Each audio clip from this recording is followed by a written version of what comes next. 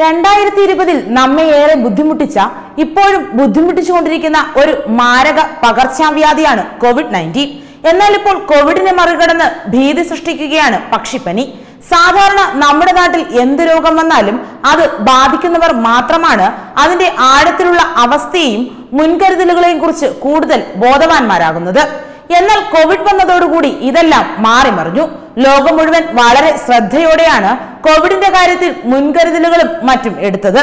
കോവിഡിന് പിന്നാലെ ഷിഗല്ലയും അതിനു പുറമെ കോവിഡിന് ജനിതകമാറ്റം സംഭവിച്ച് അതിതീവ്ര വൈറസായി മാറുകയും ചെയ്തു. ഇത്തരത്തിൽ ലോകം മുഴുവൻ മാരക വൈറസുകളുടെ ഭീതിയിലാണ്. ഇപ്പോഴിതാ വീണ്ടും ഭീതി ഉയർത്തി എത്തിയിരിക്കുകയാണ് പക്ഷിപ്പനി. അതിതീവ്ര പകർച്ചവ്യാധിയായ പക്ഷിപ്പനി സാധാരണഗതിയിൽ മാത്രം ബാധിക്കുന്ന വൈറൽ രോഗമാണെങ്കിലും വളരെ അപൂർവമായി ചില പ്രത്യേക അനുകൂല സാഹചര്യങ്ങളിൽ മാത്രം ഇത് മനുഷ്യരിലേക്ക് പടരാൻ സാധ്യതയുണ്ട്.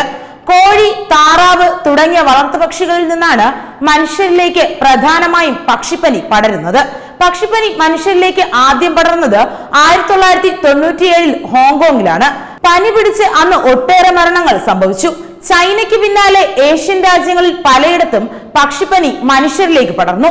രണ്ടായിരത്തി മൂന്നിലും രണ്ടായിരത്തി നാലിലും ഏഷ്യൻ രാജ്യങ്ങളിൽ നിന്ന് യൂറോപ്പിലേക്കും ആഫ്രിക്കയിലേക്കുമൊക്കെ രോഗമെത്തി.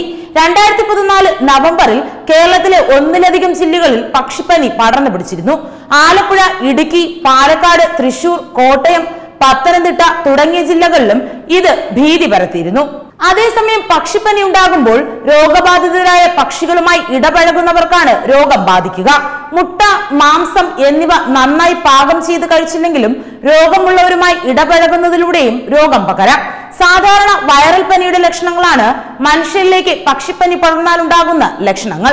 പനിയും ചുമയും തൊണ്ടവീക്കവും ന്യൂമോണിയയും ഇതിന്റെ ലക്ഷണങ്ങളാണ്. അപൂർവമായി മാത്രം ഇത് തലച്ചോറിനെയും ബാധിച്ചേക്കാമെന്നാണ് പഠനങ്ങൾ വ്യക്തമാക്കുന്നത്. അതേസമയം പക്ഷിപ്പനി മനുഷ്യരിൽ നിന്നും മനുഷ്യരിലേക്ക് പടർന്നതായി റിപ്പോർട്ടുകളില്ല. എന്നാൽ നാം ഇത് പടരാതിരിക്കാൻ സ്വീകരിക്കേണ്ട മുൻകരുതലുകൾ അറിഞ്ഞിരിക്കേണ്ടത് തന്നെയാണ്. ഒന്നാമതായി ചത്ത പക്ഷികളെയോ രോഗം ബാധിച്ചവയെയോ ദേശാടന കിളികളെയോ ഇവയുടെയൊക്കെ കാഷ്ടമോ ഒക്കെ കൈകാര്യം ചെയ്യേണ്ട സാഹചര്യം വന്നാൽ അതിനു മുൻപും ശേഷവും ചൂടുവെള്ളവും സോപ്പും ഉപയോഗിച്ച് കൈകൾ ഇടയ്ക്കിടെ കഴുകി വൃത്തിയാക്കേണ്ടതാണ്. അതിനു പുറമെ രോഗത്തിന്റെ പ്രഭവ കേന്ദ്രത്തിൽ നിന്നും ഒരു കിലോമീറ്റർ ചുറ്റളവിലുള്ളതോ രോഗം ബാധിച്ചതോ ചത്തതോ ആയ പക്ഷികളെ കൈകാര്യം ചെയ്യുമ്പോൾ കയ്യുറയും മാസ്കും നിർബന്ധമായും ധരിക്കണം. രണ്ടാമതായി കോഴികളുടെ മാംസം കൈകാര്യം ചെയ്യുന്നതിന് മുൻപും ശേഷവും സോപ്പും വെള്ളവും ഉപയോഗിച്ച് കൈകൾ വൃത്തിയാക്കേണ്ടതാണ്. അതുമാത്രവുമല്ല നന്നായി പാചകം ചെയ്ത മാംസവും മുട്ടയും മാത്രം ഉപയോഗിക്കുക. അതോടൊപ്പം അനാവശ്യമായി മൂക്കിലും കണ്ണിലും വായിലും സ്പർശിക്കുന്നത് പൂർണമായും ഒഴിവാക്കണം. ഇത് പല അസുഖങ്ങളിൽ വരുന്നതിൽ നിന്നും നമ്മെ തടയും. മൂന്നാമതായി നിങ്ങളുടെ തൊട്ടടുത്ത് അസാധാരണമാം വിധമെണ്ണം പക്ഷികളുടെ കൂട്ടമരണം ശ്രദ്ധയിൽപ്പെട്ടാൽ അടുത്തുള്ള മൃഗസംരക്ഷണ വകുപ്പിന്റെ സ്ഥാപനങ്ങളിൽ പെട്ടെന്ന് തന്നെ അറിയിക്കണം. അതേസമയം പക്ഷികളെ കൈകാര്യം ചെയ്ത ശേഷം എന്തെങ്കിലും ശാരീരിക അസ്വസ്ഥത ഉണ്ടായാൽ ഉടൻ തന്നെ മെഡിക്കൽ ഡോക്ടറെ ബന്ധപ്പെടേണ്ടതാണ്. ഇതിനെല്ലാം പുറമെ വ്യക്തി ശുചിത്വം കൃത്യമായി പാലിക്കുക വീടും പരിസരവും വൃത്തിയായി സൂക്ഷിക്കുക. രോഗം ബാധിച്ച പക്ഷികളെ കൊന്നൊടുക്കുന്നതിനും രോഗബാധിത പ്രദേശങ്ങൾ ശുചീകരിക്കുന്നതിനും ഉദ്യോഗസ്ഥരുമായി പൂർണമായും സഹകരിക്കുക. ശുചീകരണത്തിനായി രണ്ട് ശതമാനം സോഡിയം ഹൈഡ്രോക്സൈഡ് ലായനി പൊട്ടാസ്യം പെർമാംഗനേറ്റ് ലായനി കുമ്മായം എന്നിവ ഉപയോഗിക്കേണ്ടതാണ്. അതേസമയം അണുനശീകരണം നടത്തുമ്പോൾ സുരക്ഷിതമായ വസ്ത്രധാരണവും ഉറപ്പുവരുത്തേണ്ടതാണ്.